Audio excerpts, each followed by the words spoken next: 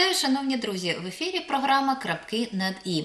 І сьогодні, за традицією, як завжди, ми підбиваємо не підсумки нашого тижня, а підсумки всього року. Я вітаю вас і, як завжди, найкращі події, найяскравіші події е, цього тижня, найяскравіші події цього року і. Найяскравіші гості в нашій програмі. А зараз я пропоную згадати деякі події тижня в нашому калейдоскопі. Понеділок, 22 грудня. Вихованці Миколаївської дитячо-юнацької спортивної школи Комунаровець передали бійцям 79-ї окремої бригади взуття, придбане на зібрані ними кошти. Вівторок, 23 грудня. Під стіну обласної прокуратури прийшли активісти, адвокати, а також люди, які стверджують, що постраждали від свавілля правоохоронних органів та прокуратури, котрі під час розслідування кримінальних справ покривають злочини та фальсифікують докази. Унікальний подарунок отримала обласна наукова бібліотека імені Олексія Гмирьова від Служби безпеки України в Миколаївській області. Це книжки, що містять матеріали з архівної документалістики, відомства, які раніше були недоступні пересічним громадянам. І 23 грудня голові ветеранської організації Ливаневців Василю Городецькому виповнилося 80 років. Ювіляра привітали представники влади, друзі та родичі. У середу, 24 грудня, дивовижна виставка дитячих поробок, новорічні та різдвяні фантазії відкрилася в міській станції юних техніків. Християни західного обряду 24 грудня святкували святий вечір. У четвер, 25 грудня, про кадрові призначення, внесення змін до обласного бюджету та ситуацію з відключенням електроенергії в області йшлося під час засідання 27-ї сесії Миколаївської обласної ради 6-го скликання. В день 35-ї річниці вводу радянських військ в Афганістан в парку перемоги відбулось покладання квітів до пам'ятнику загиблим воїнам-інтернаціоналістам. Того ж дня Миколаївський бронетанковий завод передав прикордонникам 5 новеньких БТРів та медичну машину. А у Миколаївській облдержадміністрації відбулась урочиста церемонія нагородження найкращих спортсменів Миколаївщини 2014 року. У п'ятницю, 26 грудня, на свято Ялинки до обласного палацу культури з'їхались діти з усієї області. Щорічно цей захід влаштовує облдержадміністрація для школярів, які протягом року були відзначені у навчанні або за успіхи у гуртках на олімпіадах, інтелектуальних конкурсах. А сільгосппідприємство Золотий колос, що у жовтневому районі, традиційно привітало з Новим роком малечу. Цього року, окрім солодких подарунків, дітлахи отримали можливість подивитися казкову виставу Попелюшка у Миколаївському академічному художньому російському драматичному театрі.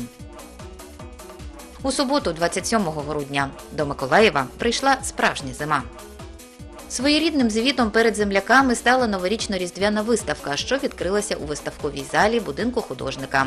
Картини створюють справжнє свято і в душі, і в самій залі. П'ятий рік поспіль напередодні новорічних та різдвяних свят Миколаївська обласна рада національних меншин організовує новорічну казку для дітлахів різних національностей. Також на святкову виставу запросили дітей військовослужбовців, учасників антитерористичної операції. Що ж про події тижня і року ми продовжимо далі. А зараз невеличке оголошення. Непогода не залишає Миколаїв, не встигло місто відійти від рясного суботнього снегопаду. Як на понеділок, 29 грудня, знову оголошено штормове попередження. Повідомляють, у ніч з 28 на 29 грудня очікується снігопад, який до ранку переросте в сильну заметіль. Вітер північно-східний 17-22 метри на секунду. В день пориви вітру можуть досягати 25-30 метрів. Очікується налипання мокрого снігу, ожеледь.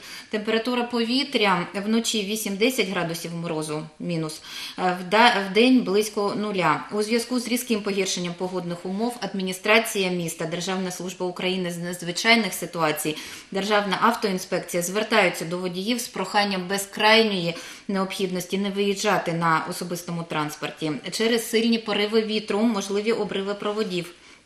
обвалення дерев. Громадянам необхідно дотримуватися особливої обережності, ні в якому разі не торкатися і не підходити близько до обірваних проводів. Якщо ви побачили в місті обірвані лінії, е, прохання звертатися за телефоном 1588. 1588 – це оперативна служба реагування нашого міськвиконкому. Будь ласка, будьте обережні для того, щоб така зимова погода не перетворилася на ну не дай Боже на якусь трагедію для е, сім'ї перед новим роком. І продовжуємо далі. Розпочати нашу програму, вже остаточно розпочати. Я хочу з такої події. До Миколаєва пізно вночі повернулися троє бійців Національної гвардії України, яких напередодні звільнили з полону. Чотири місяці очікування та переговорів. І нарешті хлопці дома. Складні погодні умови, хорделиця та сильний вітер не на заваді. Бійці нарешті їдуть додому. Мати визволеного нацгвардійця не може стримати емоцій. Вона вірила, що побачить сина живим і здоровим.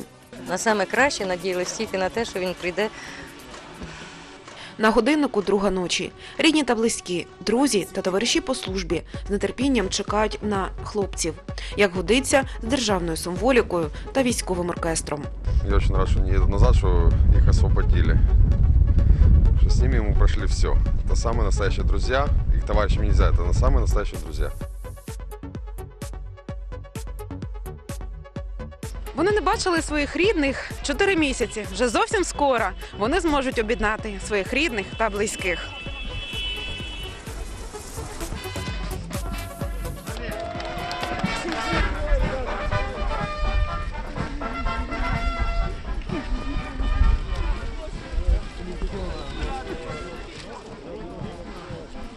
Як вам зустріч? Як вам прийом? Приємний прийом. Будемо підходити до нормального життя, забувати поступово те, що з нами було. Дуже приємно, що ви не спите вночі, чекаєте нас на таку заметіль, не дивлячись. Нам приємно, ви нам допомагаєте. 26-річний Володимир один з тих, хто був там, у полоні. Про перебування на сході розповідає неохоче. Два місяці у таборі у Сніжному, два місяці у Донецькому СБУ. Що давала сили? Що давала сила? Ну те, що я знав, що я повернусь. Я пишу, ну що я обіцяв. Нашим полоненим нацгвардійцям повернутися додому допомагали волонтери та народні депутати. На жаль, робота у громадських активістів на цьому не завершується. Есть еще люди там наши, э, не хотим загадывать, но надеемся, что буквально вот-вот будут приятные новости. Наталя Приходько, Олександр Пан. Крапки над і. Залишається побажати лише того, щоб всі, хто зараз знаходиться не вдома, повернулася додому, і родини були разом завжди, і щоб всі були живі і здорові, і повернулися до свого дому. 2014 рік для України став роком великих потрясінь, передусім в політичному плані. Тему продовжить моя колега Тетяна Мілякіна. Події на Київському майдані з листопада 2013 до лютого 2014 року визначили хід подальших політичних подій в державі. 16 січня Верховна Рада проголосувала за диктаторські закони, що стало повштовхом до виходу протистояння за мирні межі. Майже щодня відбувалися зіткнення протестувальників з силовиками. Людину можна знищити, але перемогти людину не можна ніколи. А в Миколаєві будівлі влади укріплювали від можливих захватів та очікували на приїзд бандерівців. Они не остановятся ни перед чем. Они уже открыто призывают идти на штурм здания областного совета и облгосадминистрации. 28 січня уряд Азарова пішов у відставку. 30-го ПАРЕ засудила ескалацію насильства і закликало владу вступити в переговори з опозицією. Найдраматичнішими стали події 18-20 лютого, в ході яких загинуло більше сотні протестувальників. що тут люди, жінки, юнь українська. Янукович втіче. Він навіть, можливо, після цієї зачистки завтра ні в країні не буде. Цього дня Верховна Рада прийняла постанову, яка визнала, що дії силових структур були незаконними і заборонила використання зброї. Також Верховна Рада повернула в дію Конституцію 2004 року. Втім, на майдані цього дня пролунав доленосний ультиматум сотника Парасюка про негайну відставку Януковича. 22 лютого Верховна Рада усунула його з посади президента. Він таємно покинув територію України. Відбулася зміна і на місцевому рівні. Голова облдержадміністрації Геннадій Ніколенко і голова обласної ради Ігор Дятлов склали свої повноваження.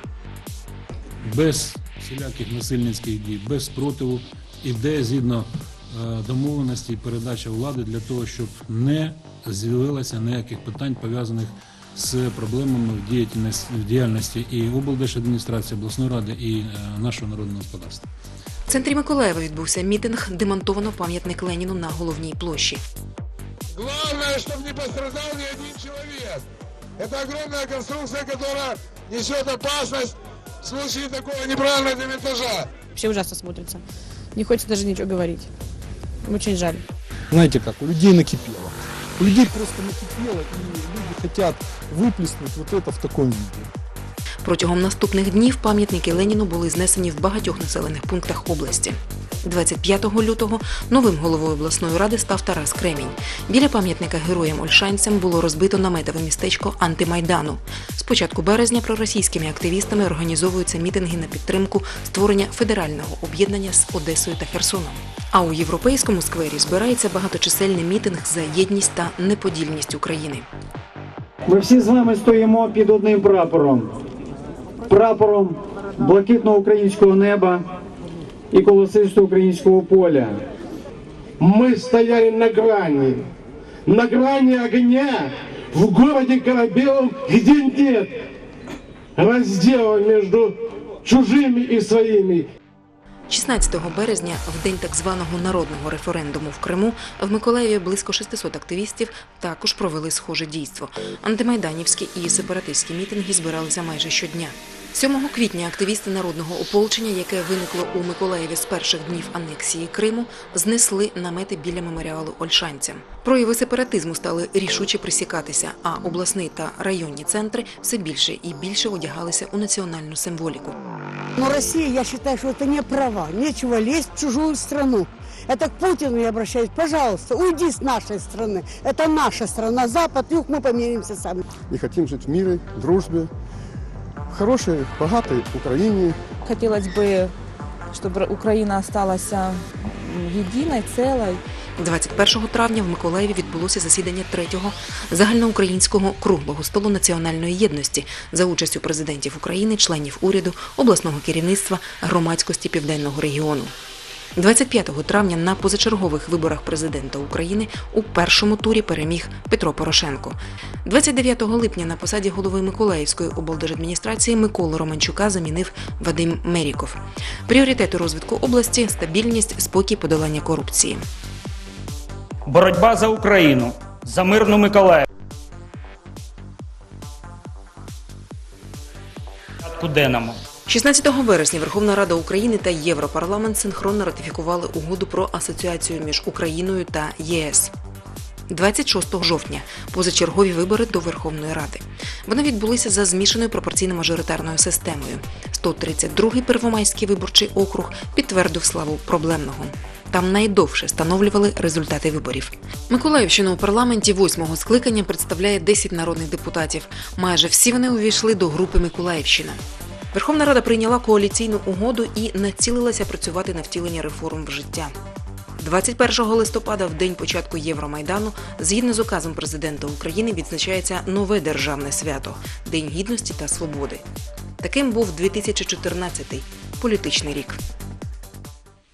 Дійсно, ось таким він був політичний рік 2014. В нашій студії гість Микола Семенович Іванов, доктор політичних наук, професор, завідуючий е, кафедрою політичних наук Чорноморського державного університету імені Петра Могили.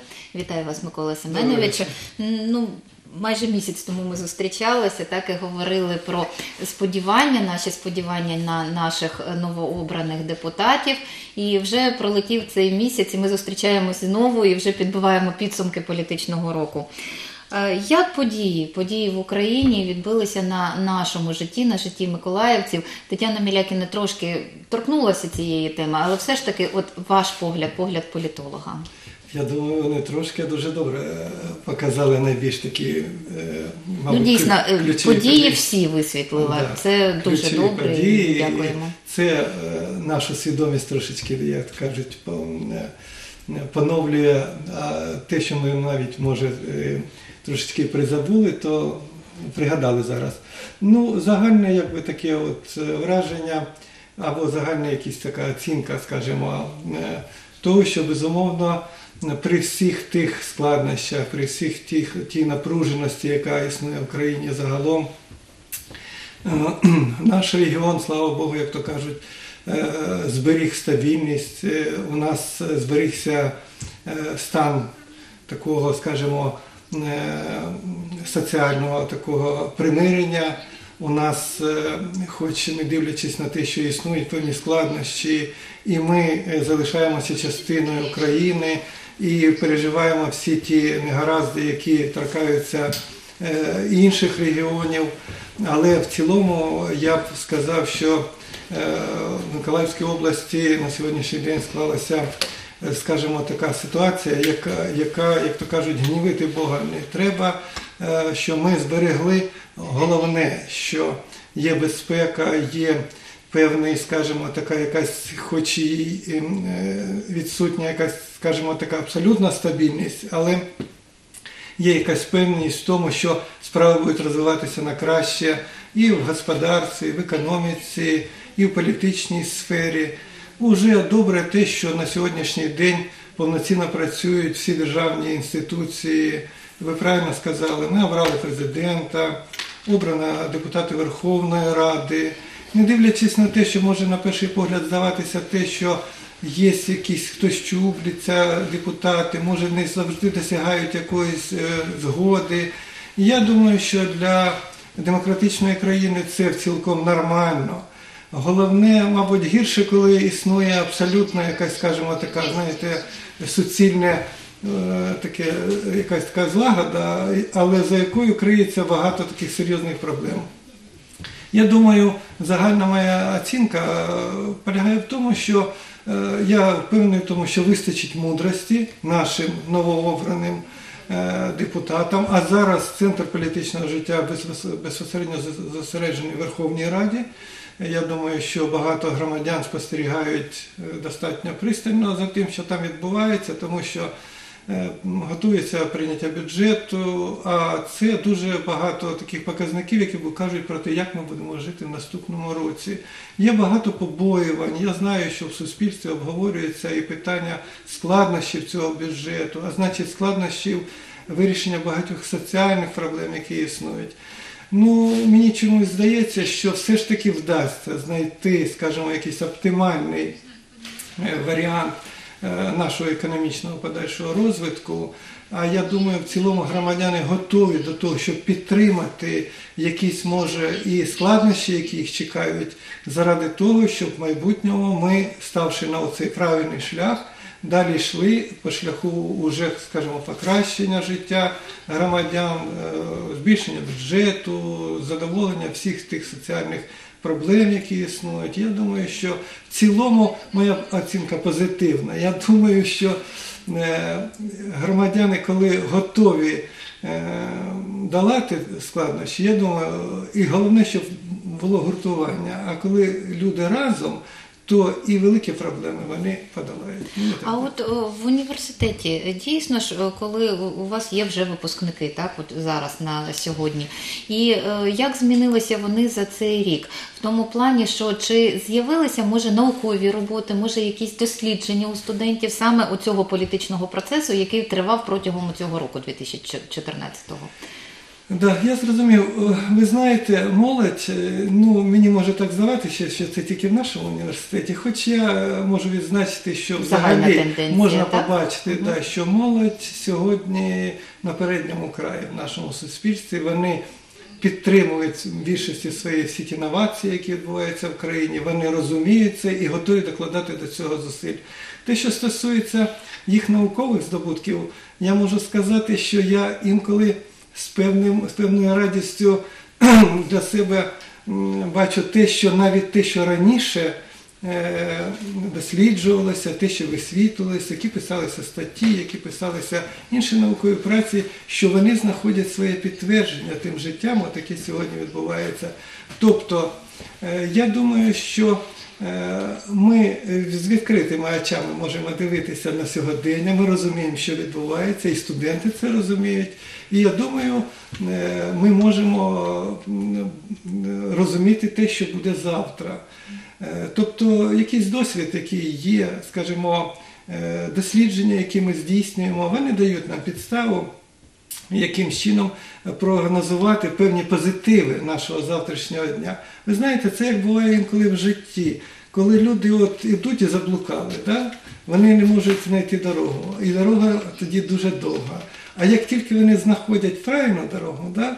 то тоді і, І ця сили дорога, і сили так? з'являються, і мета видна, і так далі. Так от головне, мені здається, що ми е, в цьому році здобули, ми стали на правильний шлях. Дякую, дякую, Микола Семеновичу. Вітаю вас з прийдешнім новим роком, з різдвяними святами. І сподіваюся, що ми неодноразово зустрінемось саме в цієї студії та в вашому університеті, тому що в Чорноморському державному університеті багато чого цікавого відбувається протягом всього року. Я вас теж вітаю. Дякую. Найкращі побажання вам і всім нашим громадянам нашої області, нашій країні. Я впевнений в тому, що завтра у нас є, і ми обов'язково досягнемо того, до чого прагнемо. Дякую. А ми продовжуємо далі і продовжуємо далі. І, на жаль, тема у нас не дуже. Ну, поки що ми не підходимо до тієї новорічної, такої різдвяної, такої веселої і теплої теми. Ми продовжуємо обговорювати підсумки року. І от Україна 22 роки не брала участі у жодному військовому конфлікті. Але, але у квітні 2014-го змінилося геть все. Війна на сході України почалась у квітні 2014 року. Втім, початком її варто вважати 27 лютого, коли доброозброєні російські військові захопили будівлю Ради міністрів та Верховної Ради Автономної Республіки Крим. І досі дивує бездіяльність українських спецслужб і позиція Міністерства оборони нашої країни, коли кількість зелених чоловічків і військової техніки сусідів на півострові зростала. А протидії цьому не було. Вже 16 березня в Криму було проведено референдум. Нова кримська влада у бюлетені внесла два питання: незалежність республіки з подальшим входженням до складу Російської Федерації та про повернення Конституції 1992 року, яка передбачала те ж саме. По суті, жителі Криму вимушені були робити вибір між Росією та Росією. Натхнені відносно безболісним переходом півострова до складу іншої держави, жителі Донецької та Луганської областей вирішили, що їм також нема чого робити у складі України. В східному регіоні почались масові акції протесту, безпорядки, які зрештою при кадровій і фінансовій підтримці Росії переросли у військовий конфлікт. Незважаючи на численні докази присутності російських військ на території України, наші сусіди офіційно не визнають свою участь у конфлікті. Відтак з нашої сторони війну називають неоголошеною. 11 травня на території двох областей було також проведено псевдореферендум щодо незалежності ДНР та ЛНР. За даними організаторів цього фарсу, за проголосували 89 та 96% відповідно. На момент проведення референдуму Донецька та Луганські області були вже охоплені вогнем. Українські військові, які за роки незалежності брали участь тільки в миротворчих операціях, не були готові ані морально, ані матеріально до ведення бойових дій. Тоді в Україні став поширюватись волонтерський рух. Тепер прислів'я моя хата з краю немає до нас відношення. Держава з радістю переклала на волонтерів свої обов'язки від спіднього до озброєння, ремонт техніки, пошив форми тощо. Сьогодні все це поставляють на фронт саме вони. Рейтинг боєздатності української армії значно підвисився на міжнародному рівні. Тепер ми серед кращих армій у світі, але таке визнання коштує Україні занадто дорого. 22 травня відбувся напад на табір сил антитерористичної операції під Волновахою. Сепаратисти близько четвертої ранку завдали неочікуваного удару по нашій армії. Кілька десятків вбитих і поранених. У хлопців не було шансів відповісти. Дехто й досі серед тих, хто пропав безвісті. Були там і миколаївці. 26 травня бій за Донецький аеропорт. Це перша масштабна і успішна операція української армії. Десант і авіація разом знищили до трьох сотень сепаратистів без жодних втрат з нашого боку. Аеропорт взагалі став символом доблесті і військової майстерності української армії. Скільки б сепаратисти не намагалися взяти під контроль те, що залишилось від повітряної брами Донецьку, спроби кожного разу ставали марними. Втрати терористів рахуються тисячами. Особливо гордість бере через те, що серед захисників аеропорту миколаївські військові кіборги, яких називають уже в усьому світі. В середині червня почато підготовку до перемір'я. 20 червня президент України Петро Порошенко віддав наказ про припинення бойових дій на окупованій терористами території. 1 липня антитерористичну операцію було відновлено. В цілому успішні наступи української армії дали можливість взяти під контроль багато населених пунктів окупованої території. А 11 липня сталася ще одна значна трагедія. Терористи здійснили обстріл позицій силовиків під Зеленопіллям Луганської області, близько сотні важко поранених і знов кілька десятків вбитих. Увага всього світу прикута до подій в Україні. Європейський Союз, Америка, Канада ввели економічні санкції проти агресора Російської Федерації. Втім, на думку багатьох, вони були занадто м'якими. Ситуація змінилася після того, як 17 липня сепаратисти за підтримки росіян збили малайзійський Боїнг 777. Невдалі йде, що безглузді спроби терористів приховати скоєне, перекласти відповідальність на українську сторону, тільки розлютили Європу, і санкції стали жорсткішими. Приблизно середини липня стала надходити інформація, що 79-та окрема Миколаївська аеромобільна бригада знаходиться в щільному оточенні. Обстріли реактивною артилерією з боку сепаратистів та з території Російської Федерації майже не припинялися. Не було можливості вивезти поранених. Штаб АТО, начебто, розумів проблему, але протягом двох тижнів допомоги нашим хлопцям не надходило. Тільки наказ тримати висоту. Одна з кращих бойових бригад України втрачала людей, не маючи можливості відповісти ворогу. Зрештою, окремі командири взяли на себе відповідальність і вивели людей з під обстрілів. В першу чергу возили поранених. Кілька висот героїчно трималися аж до середини серпня. А наприкінці серпня ще одна трагедія, яка забрала життя кількох сотень українських військових Іловайський котел. Хто винен в трагедії, досі вивчає прокуратура, а більшість документів знаходиться під грифом секретно. Перша спроба домовитись про повне припинення вогню на Донбасі відбулася у мінську 26 серпня. Всі сторони поспішили оголосити, що діалог відбувся. Мир буде. Підтримала домовленості і Росія. При цьому продовжувала направляти на схід України і бойову техніку, і своїх військових.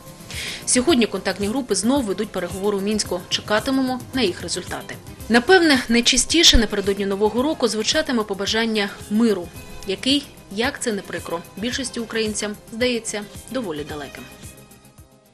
Дійсно, ось так ми згадали зараз трагічні події новітньої історії України. Це вже історія.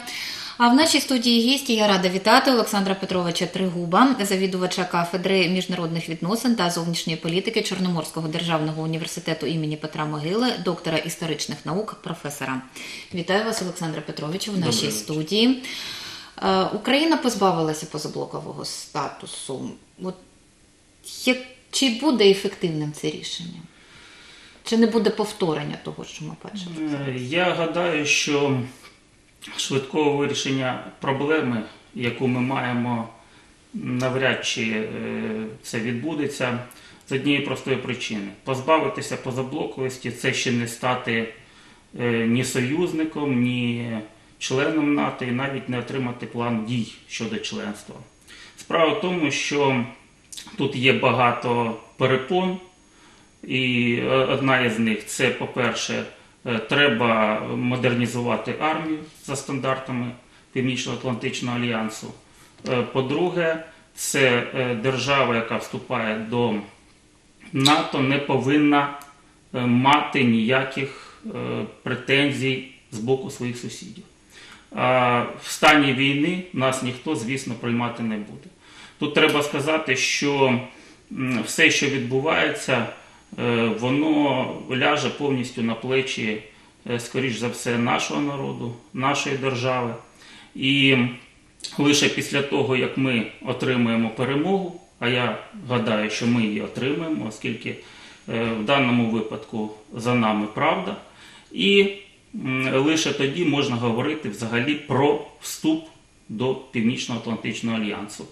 Е, А оскільки перспективи у нас складні, це однозначно, то до того часу ніхто нас не чекає в Північно-Атлантичному альянсі, і тим більше е, навряд чи хтось е, відкрито підтримає ем, військовими е, силами нашу державу для того, щоб вступати в конфлікт з досить сильною воєнізованою державою, такою як Російська Федерація, яка входить в трійку. А тоді чому? Чому е, наші керівники, керівники держави і депутати вони е, вирішили, що це на часі позбавлятися позаблокового стату? Це може це популістське рішення чи ні? Е, В деякій мірі це популістське рішення, оскільки е, позбавлення позаблоковості і шлях до євроатлантичної інтеграції це була одна із умов коаліційної угоди.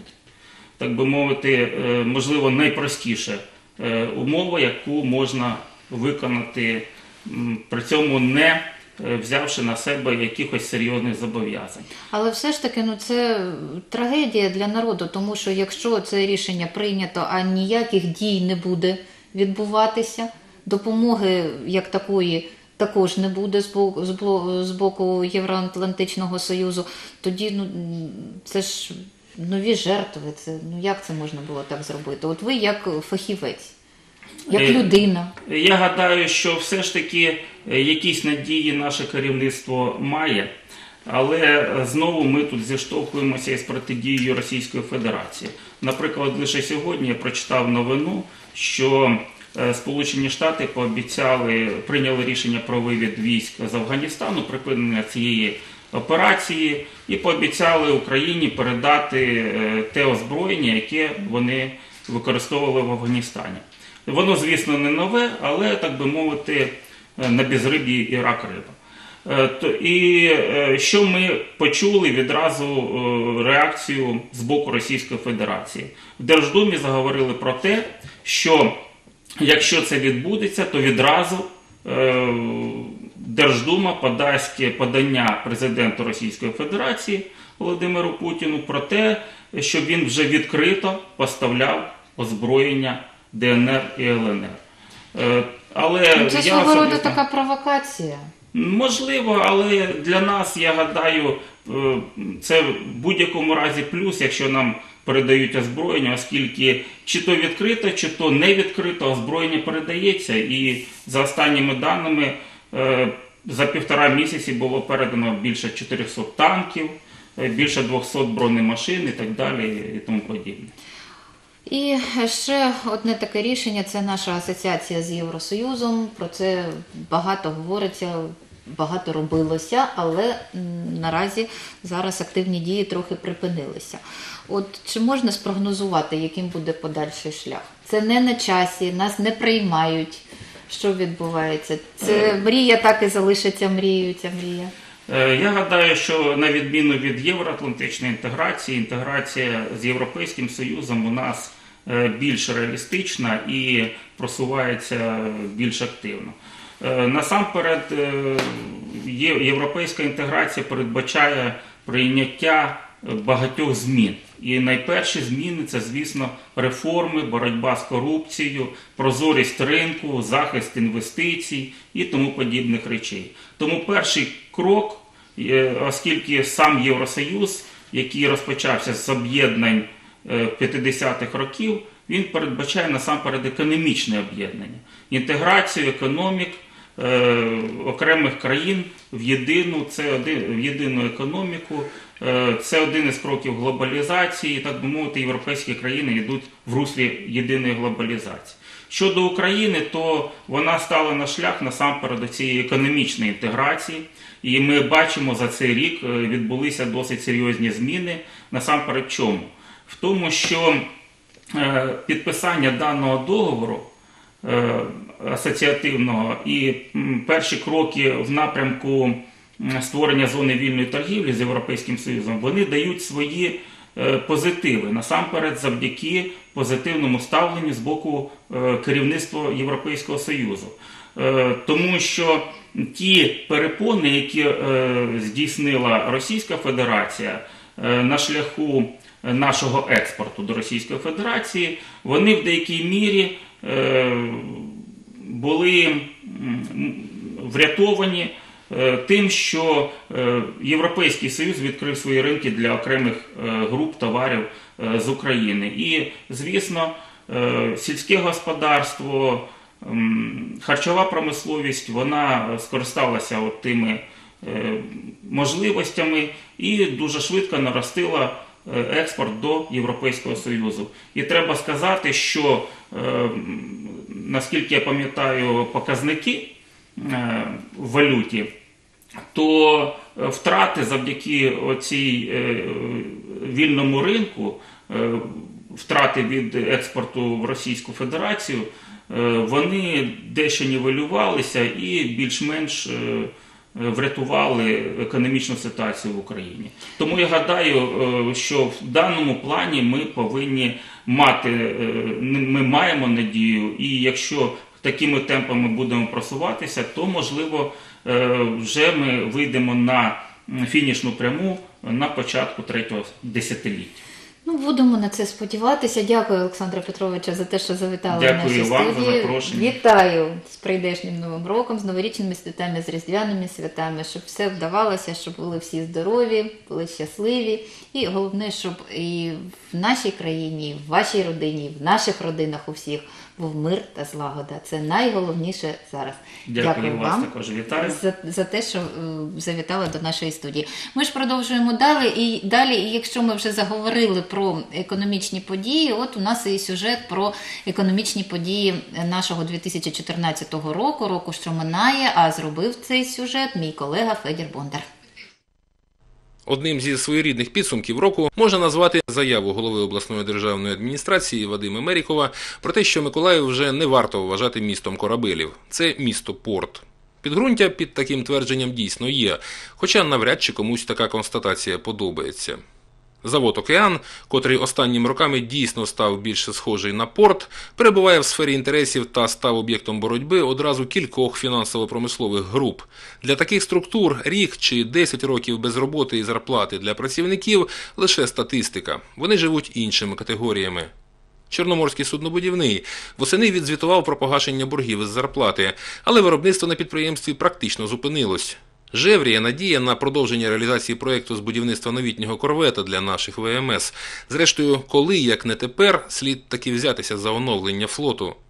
Завод імені 61 комунара навесні погасив багатомільйонні та багаторічні борги із зарплати своїм працівникам, але прориву у справі залучення нових замовлень не відбулось. Борги знову почали накопичуватись. Водночас портовики ставлять рекорди. Миколаївська філія державного підприємства Адміністрація морських портів України досягла найкращого результату за всю 225-річну історію, переробивши станом на 25 грудня 11 мільйонів 800 тисяч тонн вантажів. До кінця року сподіваються досягти 12-мільйонної позначки. Відкриттям року можна вважати Миколаївський тепловозоремонтний завод, котрий став відомим в першу чергу завдяки допомозі в ремонті техніки для нашої армії. До цього він просто ремонтував локомотиви для багатьох українських партнерів. Тепер робить ці дві справи одночасно. Не з найприємнішого приводу, але отримав роботу і повністю завантажений бронетанковий завод, хоча на початку року він був на межі існування. Побільшало роботи і у Миколаївського авіаремонтного підприємства НАРП. Розпочавши рік передачею першого відремонтованого для вітчизняних ВПС транспортника ІЛ-76, завод згодом отримав чимало замовлень на ремонт і модернізацію наших військових літаків. Серед найбільш проблемних підприємств залишається міжнародний аеропорт Миколаїв. 25 грудня обласна рада затвердила на посаді його нового керівника Олексія Милашича, котрий кілька місяців виконував обов'язки директора. Порівняно з 11 місяцями минулого року, як не дивно, промислове виробництво по області зросло на 2,4%. Щоправда, зростання продемонструвала лише енергетична галузь, завдяки, в першу чергу, Южноукраїнській атомній електростанції, котра збільшила виробництво у понад півтора рази. Найгірше почувається легка промисловість – мінус 30%. А, наприклад, машинобудування впало на 9 пунктів, хоча газових турбін вироблено майже на чверть більше, ніж торік. В сфері зовнішньої торгівлі Миколаївщина зберігає позитивне сальдо – перевагу експорту над імпортом. За 10 місяців поточного року до області завезли закордонних товарів на понад 500 мільйонів доларів, а вивезли за кордон на більш ніж півтора мільярди. Чи допоможе це місцевим виробникам в контексті європейської інтеграції, покаже час. Адже поки що найбільшу суму наші підприємства отримали від експорту до Росії – понад 487 мільйонів. За обсягами імпорту лідирує також Російська Федерація – понад 102 мільйони доларів. Яким чином на вищі викладені показники вплинуло здешевлення вдвічі нашої національної валюти – запитання до експертів. Федір Бондар, крапки над «і». Що ж, ну неможливо в одному сюжеті все вмістити, всі події, але все ж таки такі віхи, основні віхи е, Федір Бондар нам виклав зараз у своєму матеріалі. А я вітаю нашого гостя Дмитро Михайлович Тушенко, директор бренд-агенції Охоронна грамота, член асоціації роботодавців Миколаївський клуб директорів, активіст громадської організації Самопоміч. Вітаю вас в нашій студії. Добрий вечір. Е, Дмитре Михайловичу, давайте почнемо от саме з першої частини сюжету Федіра про те, що Є така думка, є такі сподівання, є така мета перетворити Миколаїв з міста корабелів на місто порт. Остаточно вже перетворити. Наскільки, е, ну, на ваш погляд, це життєздатна така мрія, і чи буде вона втілена в життя? Питання дуже цікаве. Е, Мрія, в принципі, життєздатна, але для того, щоб Миколаїв став е, серйозним портовим центром, є певні обмеження. І ці обмеження торкаються насамперед е, нашої, скажімо так, занедбаної інфраструктури.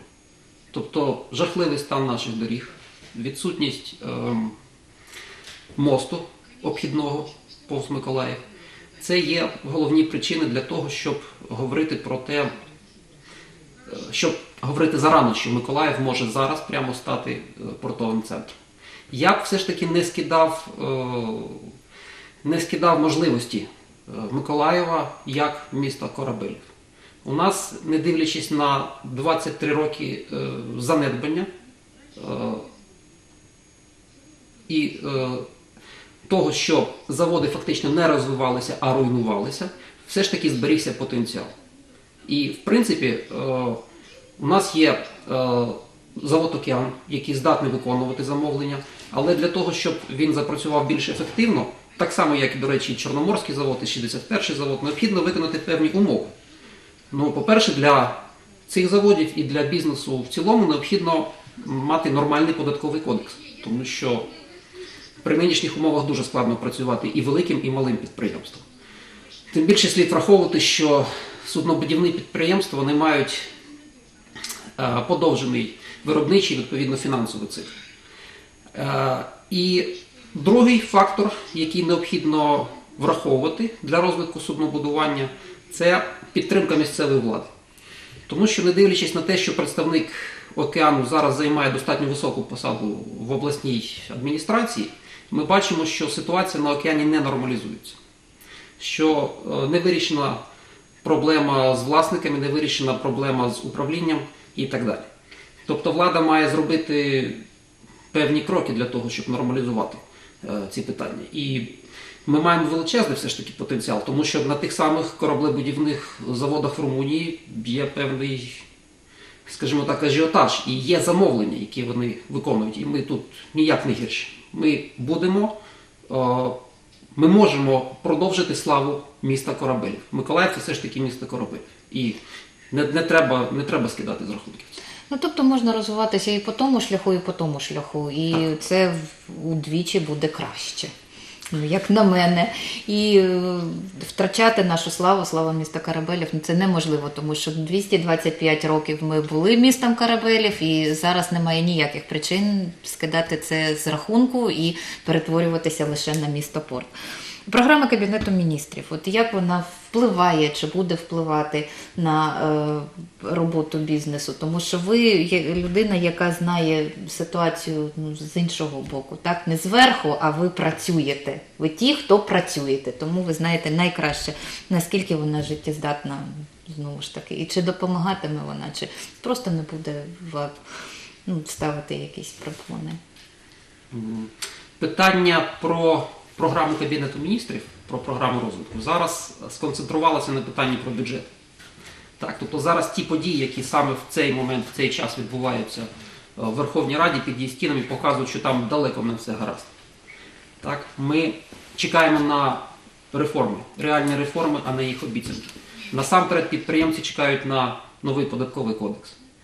Ми очікуємо, що новий податковий кодекс дасть нам прості, прозорі податки, які з радістю ми всі будемо сплачувати і наповнювати е, державний бюджет на вищому рівні і бюджети е, на місцевих рівнях, для того, щоб ми могли вирішувати різні соціальні питання. Е, Нинішній стан говорить про те, що є, є оптимізм, але ми чекаємо конкретних дій. Зараз не можна говорити, що щось змінилося принципово для бізнесу, але ми сподіваємось. Ми сподіваємося на новий податковий кодекс з чесними прозорими податками. І загальний настрій, коротко, загальний настрій ваших друзів, людей, які працюють, які намагаються зробити так, щоб в країні дійсно, дійсно своїми справами е, намагаються зробити так, щоб в країні стало краще. Одним реченням так. Ми чекаємо на зміни. Ми чекаємо на реформи. Ми чекаємо на ще раз підкреслю на новий податковий кодекс. Ми чекаємо на благополуччя. Ми очікуємо добробуту. Ми очікуємо е, розвитку. Ми очікуємо нових економічних і соціальних рубежів.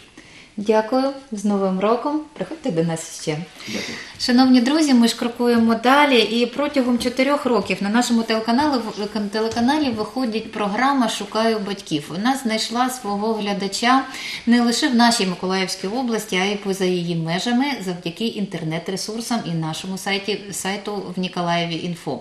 І саме про неї нам хочеться розповісти в нашій підсумковій програмі Крапки над «і». Шукаю батьків. Започатковуючи цей проект, ми ставили завдання допомогти дітям, які волею долі опинилися без батьківської опіки, знайти нові родини, допомогти людям, які мають бажання і силу духу подарувати свою любов дитині, яка не є їм рідною по крові, але народилася в їх серці, знайти таку дитину і прийняти її до своєї родини. Такі проекти потрібні. І е, ми е, маємо на обліку дуже багато дітей. А взагалі на кожну дитину складається анкета. І коли приходять усиновителі або прийомні батьки, батьки-вихователі, ми можемо ознайомити тільки в паперовому варіанті з цією дитиною. А коли е, людина може побачити дійсно в русі цю дитину, як вона е, вимовляє ті слова, як вона е, взагалі себе почуває, то більше є шансів у цієї дитини піти на контакт з батьками. В реалізації проекту наша телекомпанія співпрацює з обласною службою у справах дітей і центром соціально-психологічної реабілітації дітей. В центр черговий раз ми приїхали напередодні Нового року. Малеча саме готувалася до святкування. Малювали, гралися, вчили вірші. Морозеч, морозеч, не сіпай нам січки, ти піваїнки у нас. Шупи, рукавички. Молозець, молозець. Плесімо дороні, у дівчаток і хлопець носики червоні. Центр соціально-психологічної реабілітації дітей прихисток для дітлахів, які опинилися в скрутних життєвих обставинах, пережили драматичні моменти в житті. Тут їм допомагають повірити в себе, заспокоїтися і не втратити віру в дорослих. І надзвичайно приємно, що в цій справі є і наш посильний внесок. Ваше присутствие, оно э, даже в нас вселяет, можно сказать, такой вот оптимизм. Все-таки мы нужны кому-то. И благодаря вам она знает много людей. Благодаря вам появляется много родителей. Э, Благодаря вам к нам приходят люди, все больше и больше приходят людей, которые просто хотят сделать доброе дело. Яким би не був чудовим дитячий заклад, сімейне виховання все ж таки краще. І без перебільшення всі співробітники і служби, і центру мріють про те, щоб кожен їх вихованець зростав в міцній і щасливій родині. Знайти таку родину допомагає і наша програма Шукаю батьків. Ця програма е, дійсно нам допомогла. За 4 роки у нас 71 дитина була влаштована до сімейних форм виховання. Взагалі цей рік у нас був саме насичений на усиновлення. Якщо добрі справи десь записуються на небесах, то важко переоцінити значення е, цієї передачі. Я вважаю творчої групи і подальшої роботи, тому що це свята справа. І знаєте, мрію про те, щоб, е, щоб не було у нас сиріт. Кожен герой програми за час її створення стає для всієї творчої групи майже рідним. Ми переживаємо за долю кожного і надзвичайно радіємо, коли ще одна дитина йде до сім'ї.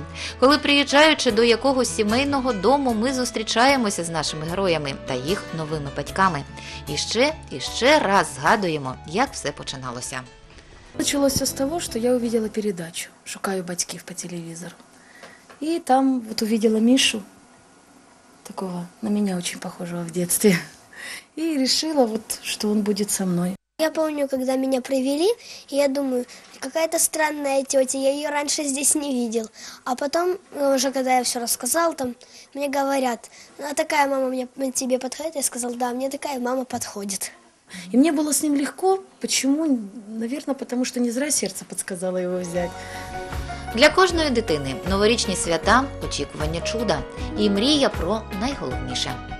Я желаю всем тем детям, которые находятся здесь, чтобы они поскорее вернулись домой, чтобы у них все было хорошо в их семье, чтобы они все увидели своих родителей, чтобы все были здоровы, не болели, чтобы были все счастливы. Я хочу пожелати тим дітям, яких нема батьків, щоб вони знайшли собі батьків, щоб вони були щасливі. Я хочу, щоб в кожній сім'ї було любов, ласка, здоров'я, щастя, кохання.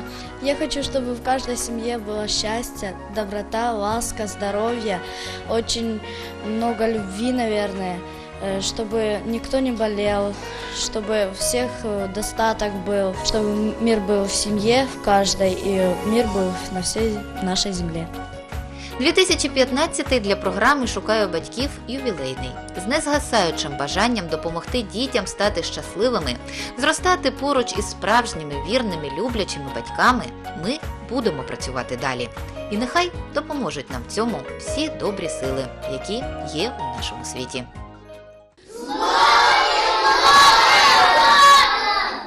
Катерина Тригубова, Артем Белібов. Програма Крапки над і.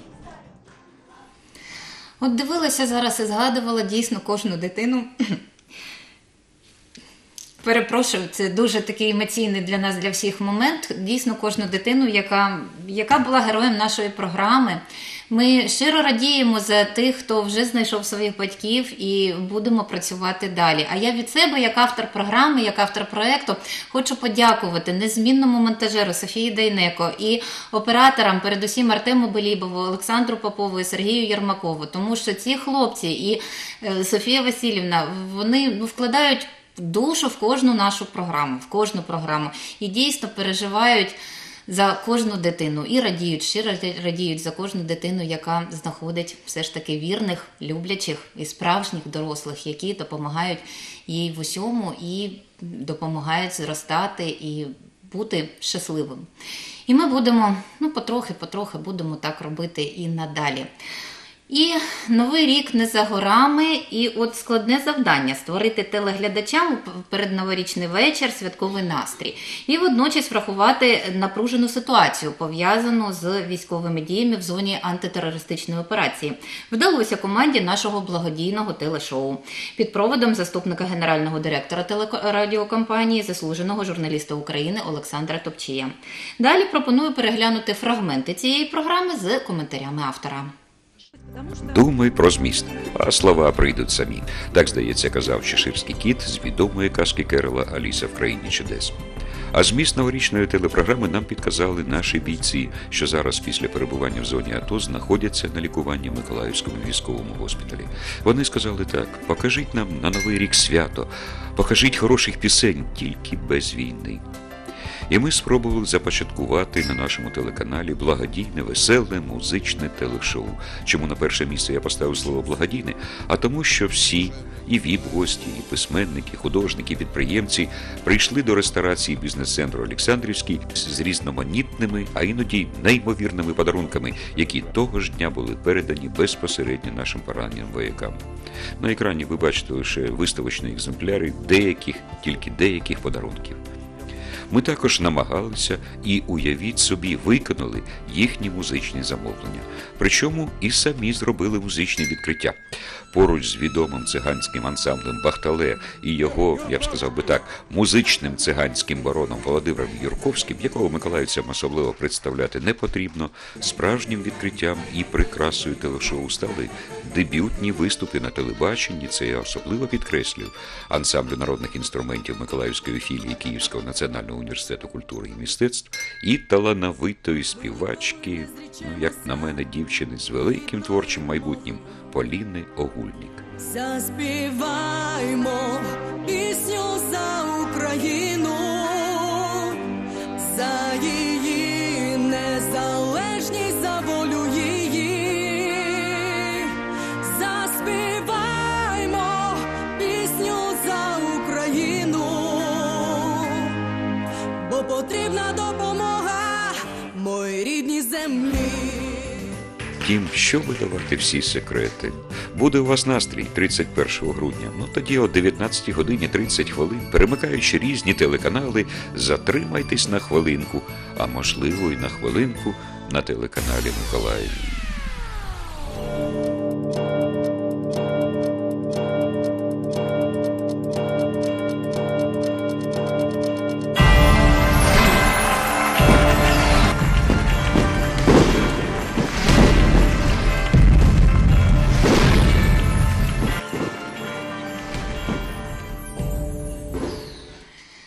19.30, 31 грудня, будь ласка, завітайте до нашого телеканалу і залишайтеся з ним і в 2015 році. А на сьогодні все. Я бажаю, щоб в новому році в кожній родині був мир. В кожній родині було благополуччя, в кожній родині були всі здорові. А ті, хто далеко від нас, щоб вони повернулися додому. Живі і здорові. Миру, добра, злагоди, щастя кожному дому, кожному миколаївцю і нашій країні, нашій Україні. Я прощаюся з вами до наступних зустрічей в ефірі телеканалу Миколаїв в 2015 році з новими сподіваннями і з новими силами. На все добре.